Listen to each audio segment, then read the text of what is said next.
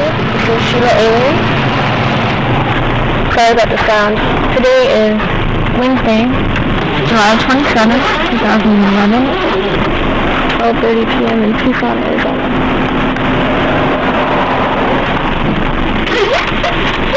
So in the media lately, if you've noticed, after the Casey Anthony thing was done, they had to come up with something else. So that's when we had the Norway attack. All these orchestrated events to keep people distracted. And the thing is, what they're distracted by isn't even reality, possibly. So whatever is distracting people isn't even really happening. Or maybe it did happen, but it was made to happen. So everybody just focuses on one thing at a time to keep people stupid, basically. I don't know the motive, but that's what it looks like is happening. I just wanted to see if you guys notice anything weird about this palm tree.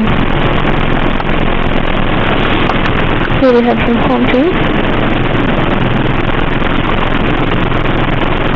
Here we have an antenna. It's a big palm tree. And we have these throughout the town. Has its own little barrier fence around it.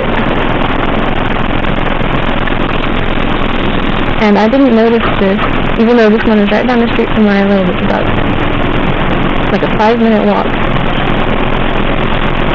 I didn't know it until someone told me that these existed. Now I can see them when they're there. Also, if you've heard of GWEN Towers, up. G-W-E-N if you haven't heard of them. Ground wave, maybe emergency network. But I think that's what you've been part of. Anyway,